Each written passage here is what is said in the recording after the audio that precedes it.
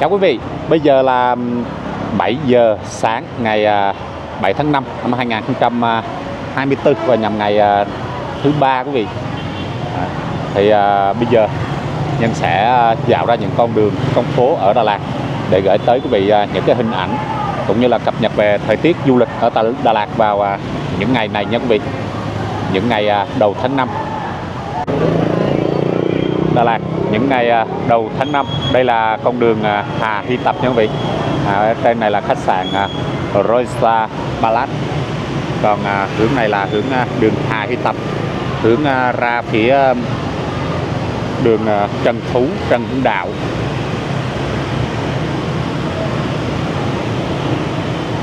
À, Đà Lạt kỳ này à, mưa thường hay mưa vào buổi chiều quý vị nhưng mà buổi sáng chúng ta thấy là thời tiết ờ, khá là đẹp.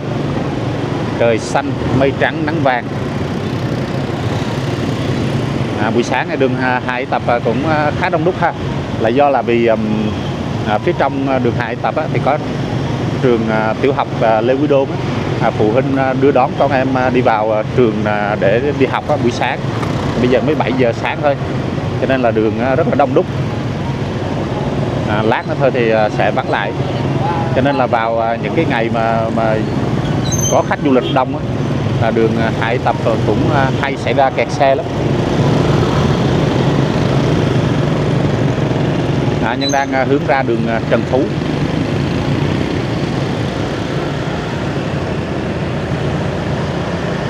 Buổi sáng thời tiết khá là đẹp.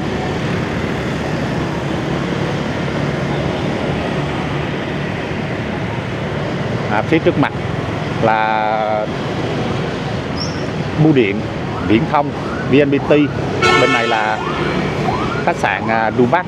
Bên này là khách sạn à, Palace ha hiện nay là đôi dép người ta đang thuê một à, cái khu vực để làm cà phê làm nhà hàng.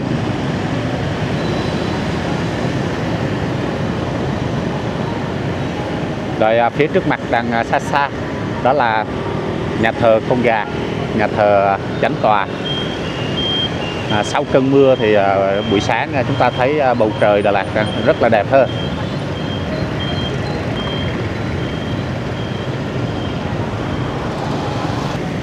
Vì à, thời điểm à, buổi sáng là đẹp nhất chụp hình cũng đẹp.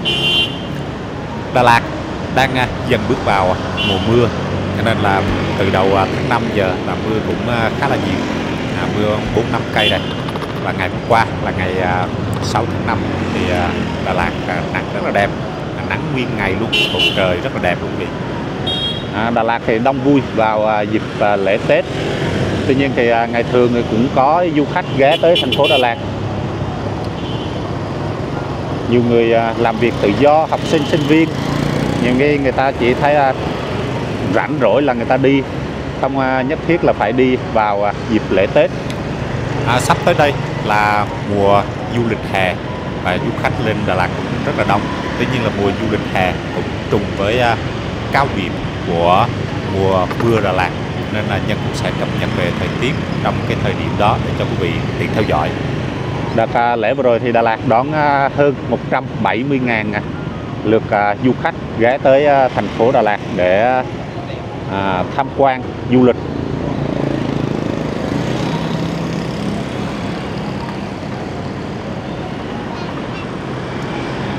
À, một số lượng à, cũng à, lớn quý vị ha. Và có những ngày à, thì chúng ta thấy là cao điểm là ngày 28 và 29 à, ngày 30 thì du khách cũng à, buổi sáng sớm thì cũng về bớt bị sợ kẹt xe nè. Cho nên là cũng về bớt.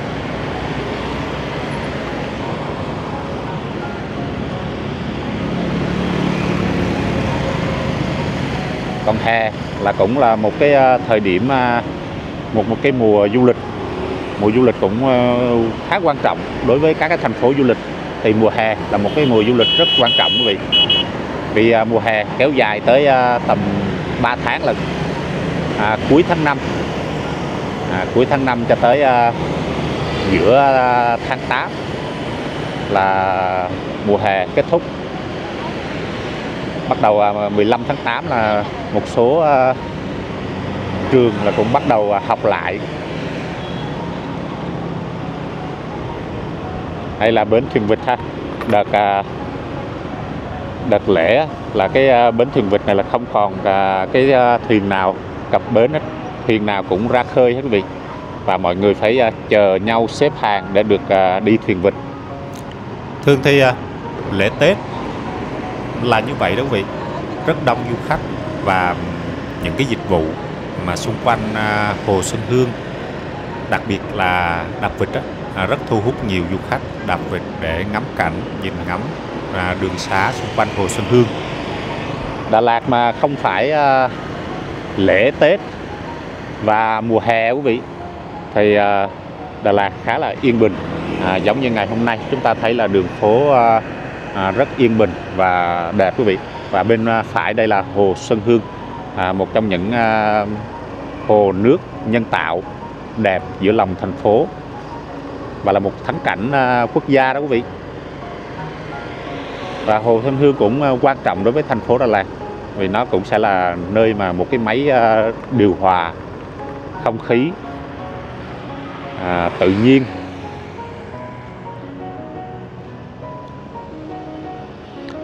ngay hồ Xuân Hương thì à, cũng có những cái công trình như là cà phê nhà hàng à, Thủy Tạ nè. À, một trong những cái công trình à, từ thời Pháp để lại.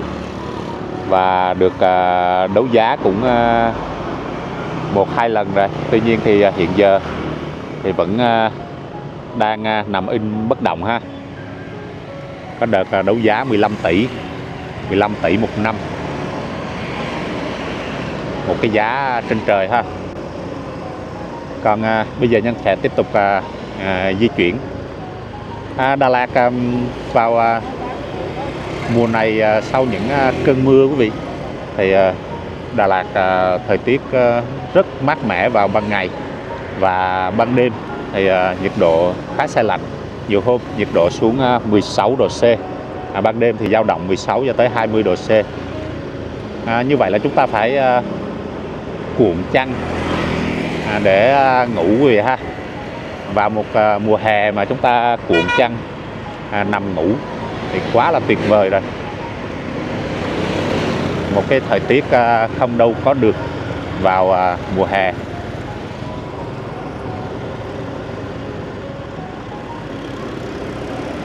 Bên phía phải là dinh một.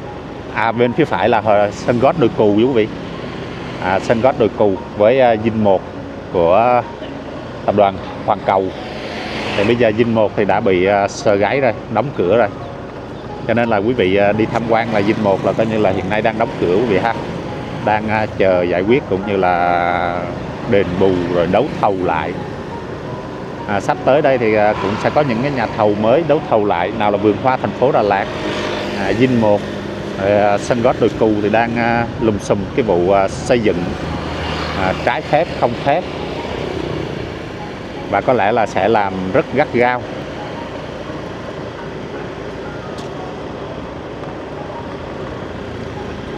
Và cũng nên như vậy quý vị. Vì những cái công trình sai phép không phép thì chắc chắn là phải làm một cách gì đó để mà À, được phép xây dựng.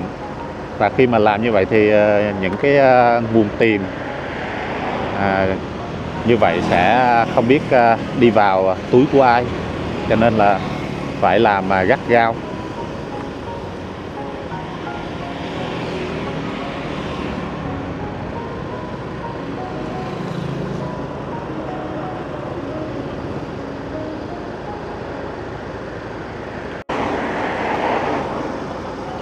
Đi vòng quanh hồ Sơn Hương.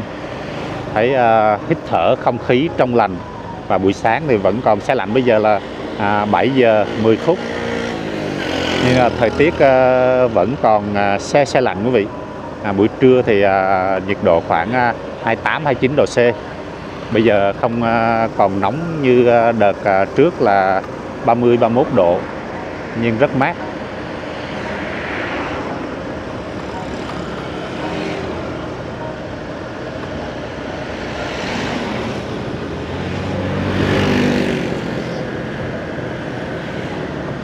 Hè chúng ta tới à, Đà Lạt du lịch, thì nhân cũng sẽ tranh thủ à, review thêm một à, số các cái villa biệt thự, rồi khách sạn, hay là quán ăn, nhà hàng, các cái điểm tham quan du lịch tại cái thời điểm này. Vì các cái thời khu du lịch mà nhân đã từng review trước đây rồi thì vào những cái thời điểm khác nhau thì khu du lịch họ cũng có những cái trang trí rồi à, cũng như là hoa lá à, nó cũng khác nhau quý vị. Đến Đà Lạt thì chủ yếu khu du lịch nào à, chúng ta cũng thấy là cũng có hoa lá từ một vài khu du lịch như là Mông Gù Lên hay là thung lũng của các vị thần. Có hoa nhưng mà không nhiều. À, bên này là vườn hoa thành phố Đà Lạt và ban đêm là có một cái chợ đêm quý vị à, chợ đêm à, lưu động. À, các cái xe chở tới à, đây để à, bán cho du khách. Hàng ăn uống cũng như là thời trang luôn. Và khu du lịch à, vườn hoa thành phố Đà Lạt thì nhân cũng à, review tháng trước rồi. Trước khi à, 30 tháng 4 1 tháng 5 thì nhân cũng review để cho quý vị xem rồi. Và bây giờ là nhân à, hướng lên à, phía trên. Ngay khu vực này là có đường à, Nguyên Tử Lực nè hướng lên à, trên thung lũng tình yêu đồi mộng mơ hoặc là đường à, siêu ngược ánh Nguyễn Đình Chiểu hướng qua bên à, phường chính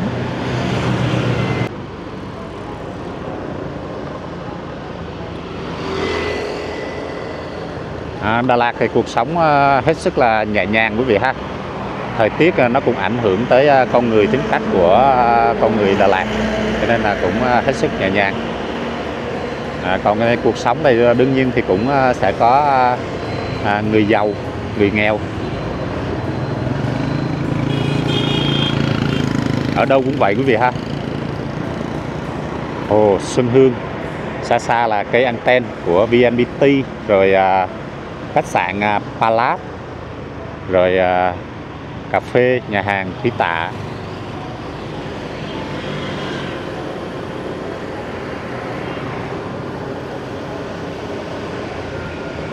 bên trên này là nhà văn hóa tỉnh Lâm Đồng. Rồi à,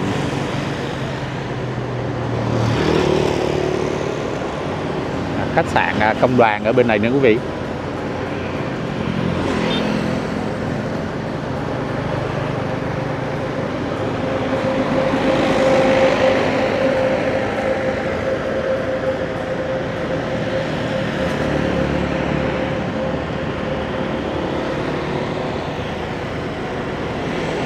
Bây giờ nhân sẽ đi dạo một vòng cũng như là gửi tới quý vị những cái hình ảnh của à, thành phố Đà Lạt.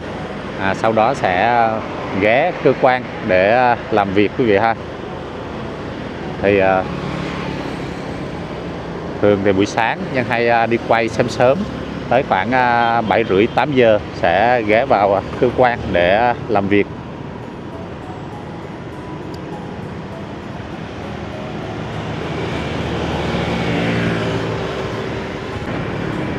À, bây giờ nhân đang à, hướng tới à, phía quảng trường à, Lâm Viên. Thì hiện nay à, quảng trường Lâm Viên thì người ta cũng à, à, dựng à, cái à, sân khấu nho nhỏ để làm à, một vài cái chương trình à, sắp tới hè rồi. Cho nên là cũng có rất là nhiều à, các cái chương trình à, hoạt động ở ngay à, quảng trường Lâm Viên à, để phục vụ à, người dân cũng như là khách du lịch khi à, tới quảng trường Lâm Viên để tham quan. Quảng trường Lâm Viên thì nổi bật với à, quả cầu pha giả quỳ nè, rồi à, với cái bóng atiso ở phía trên. Còn phía dưới hai quả cầu đó chính là siêu thị, à, rạp chiếu phim, rồi à, phòng tập gym, tập thể dục. Quảng trường Lâm Viên là một cái địa điểm rất là quen thuộc và nổi tiếng của thành phố Đà Lạt. Khi mà du khách tới thành phố Đà Lạt thì thường ai ai cũng à, ghé tới quảng trường Lâm Viên để à, chơi cũng như là check in vào buổi chiều hoặc là buổi tối. À, sau đó thì ghé vào à, khu vực chợ đêm. À, chợ đêm Đà Lạt thì có một cái chợ đêm cũ ngay à, phố đi bộ. Còn à, chợ đêm thứ hai đó là nằm ở ngay cổng của vườn hoa thành phố Đà Lạt quý vị ha.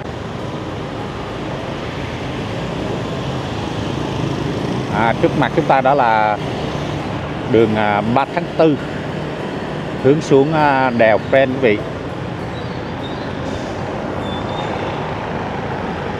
ngày nay đến thành phố Đà Lạt thì đa số là du khách từ các tỉnh à, miền Đông, miền Tây, Nam Bộ à, di chuyển à, qua cung đèo à, Pren là chính.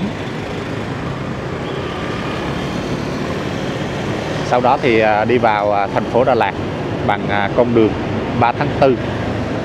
Trước đây đi đến thành phố Đà Lạt thì chỉ có khu vực miền Đông, Tây Nam Bộ đi lên là chỉ có mỗi cái cung đèo à, Pren thôi quý vị.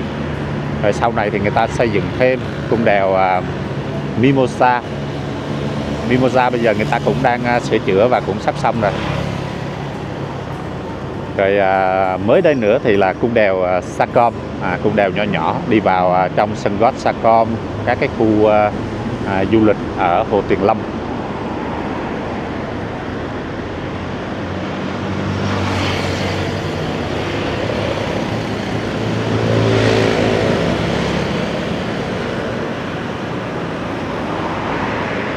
Đường 3 tháng 4 cũng rất là rộng. Bốn làn xe cho chúng ta thoải mái di chuyển. Tuy nhiên thì cao điểm à, về à, du lịch á, nhiều khi là chúng ta cũng thấy là ủng ứ ở ngay đường 3 tháng 4 vì à, lượng xe cộ đi lên đi xuống nó quá nhiều quý vị.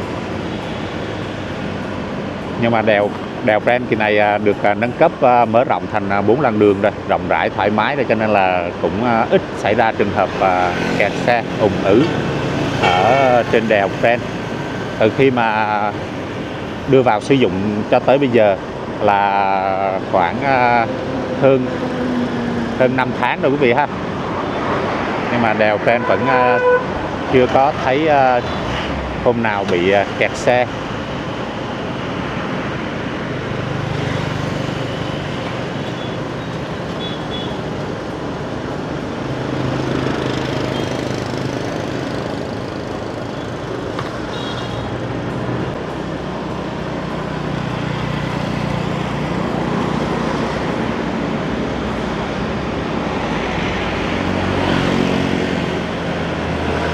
Khi à, đi hết à, đường 3 tháng 4 là cái à, cửa ngõ nơi mà giao nhau giữa đường 3 tháng 4 đèo trên, đường Tô Hiến Thành, rồi đường Đống Đa.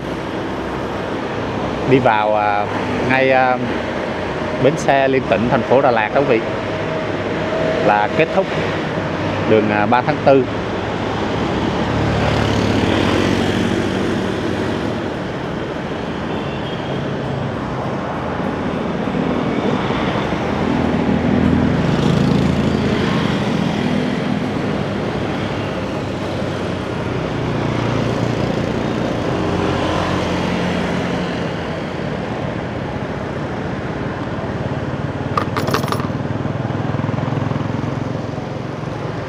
phía trước mặt là đèo Pren đó quý vị.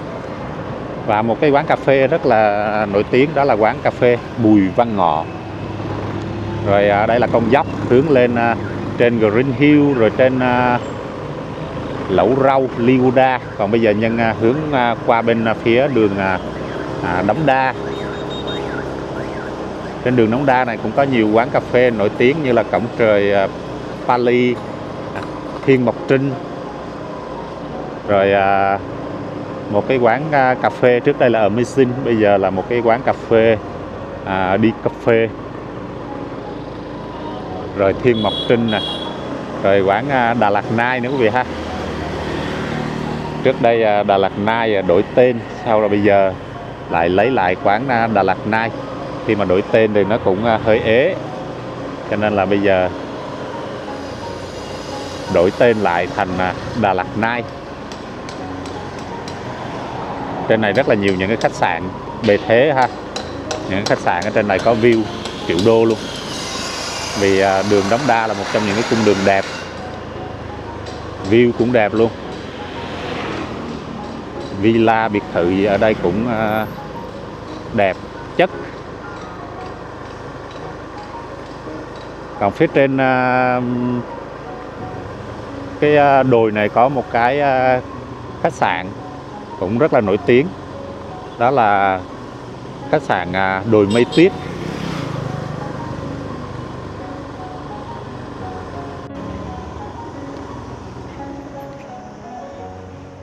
Đường à, đống đa đẹp quý vị ha. Phía trước là biệt thự ông tây. Và ở đây là cái à, view nhìn về toàn cảnh thành phố đà lạt. Nào là những cái đỉnh của lang biang hay là thành phố đà lạt những buổi sáng mà có sương mù chìm trong sương cũng rất là đẹp. À, mùa này đi săn mây cũng đẹp lắm quý vị. Mùa này đi săn mây ở đồi chè cầu đất á, cũng à, đẹp lắm. Ngày nào mấy hôm nay ngày nào cũng có mây hết trơn á. khi mà những cái cơn mưa đầu mùa như thế này xuất hiện thì à, hôm nào cũng có mây. Vì à, sáng nắng chiều mưa cho nên là rất dễ để mà cho chúng ta đi à, săn mây.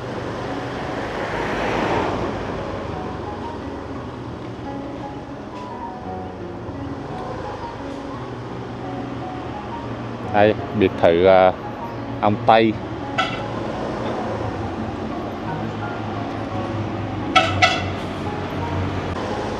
Và, và trước mặt là một cái cung đường cũng à, rất là đẹp ha một cái công dốc của đống đa.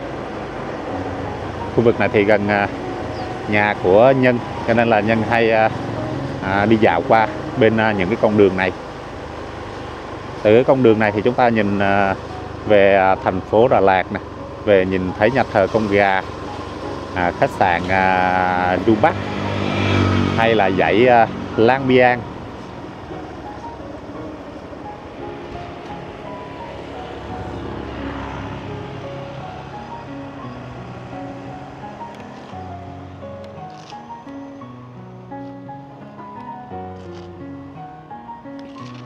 Một cái thung lũng rất đẹp quý vị ha ở đây có à, Đà Lạt Gót Cà Phê cũng là một cái nơi à, khách du lịch cũng hay ghé này ngoài à, ở đây thì có à, khách sạn rồi còn có à, cà phê. Phía dưới này là chùa Thiền Mỹ. Vòng vòng vòng đường Đống Đa là chỗ nào nhìn à, cũng thấy à, cái view đẹp hết trơn thậm chí là những cái con hẻm ở trên đường Đống Đa này cũng có view đẹp luôn. À, hôm qua thì không có mưa hôm nay thì buổi sáng rất là đẹp. Và hy vọng là hôm nay à, buổi chiều thì cũng à, sẽ không có mưa. À, vì cao điểm của thành phố thành phố Đà Lạt mưa là vào à, khoảng tháng 7 tháng 8 tháng 9 vì đó là những cái thời điểm mà mưa rất là nhiều và thậm chí là mưa dầm luôn ảnh hưởng của áp thấp nhiệt đới hay là những cái cơn bão đó. Thì mưa liên tục.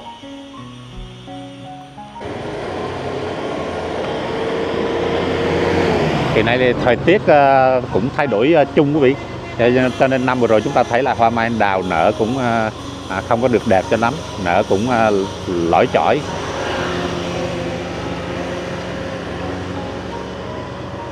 Tới khi mà những ngày cuối tháng tư quý vị à, cuối tháng tư đầu tháng năm à, cũng có nhiều đợt hoa mai anh đào nở rộ đẹp luôn. Trong khu vực này là làng biệt thự Osaka. Chúng ta cũng có thể thuê những cái căn biệt thự trong cái làng biệt thự Osaka đó để ở. Ở trong đó rất là nhiều những cái căn biệt thự người ta làm à, về à, là du lịch à, hoặc là quanh quanh đường Đống Đa này cũng nhiều à, những cái căn biệt thự đẹp. À, những cái, cái khu phố giống như là khu phố Nhật vậy đó. Toàn là biệt thự không à. Khu này cũng à, an ninh lắm quý vị cho nên là ở những cái khu như này có nhà có cửa ở cho những cái khu như này là à, quá vip luôn. À, con đường ở trước mặt à, cũng rất đẹp này quý vị. À, đi à, hết con đường này là tới à, nhà của nhân. Như vậy là hôm nay nhân đã gửi tới quý vị những cái hình ảnh của thành phố Đà Lạt vào à, buổi à, sáng ngày à, 7 tháng 5 quý vị ha. Và cập nhật về vấn đề thời tiết du lịch cũng như là các cái hoạt động ở tại thành phố Đà Lạt cũng như là những cung đường những cái tuyến phố ở trung tâm thành phố Đà Lạt để gửi tới quý vị trên à, kênh à, Đà Lạt Street. Nhưng rất cảm ơn quý vị, cô chú chị, các bạn đã theo dõi video này. Hãy đăng ký kênh để tiếp tục ủng hộ cũng như là theo dõi những video sau của Nhân nha. Còn bây giờ thì Nhân xin chào và hẹn gặp lại quý vị trong một video tiếp theo về Đà Lạt.